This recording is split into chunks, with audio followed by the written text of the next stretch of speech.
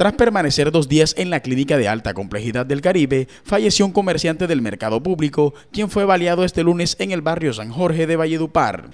Guillermo Antonio Buitrago Payón, de 28 años, oriundo de Bogotá, pretendía sacar su vehículo del parqueadero ubicado en la calle 21 con carrera sexta A24 del barrio San Jorge, cuando fue abordado por un sujeto desconocido quien le disparó en su cabeza.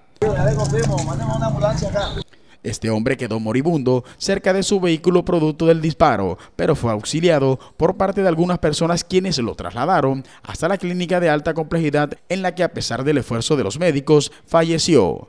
Por su parte, el comandante operativo de la policía del Cesar, coronel Freddy Delgado, informó que es posible que el agresor haya actuado en complicidad con otro sujeto y que además se están cotejando las cámaras de seguridad para poder identificar a los responsables del ataque. Guillermo Antonio Buitrago Payón era propietario del local comercial Buitrago ubicado en el mercado público de Valledupar. Este comerciante de 28 años será sepultado este jueves en la capital del Cesar.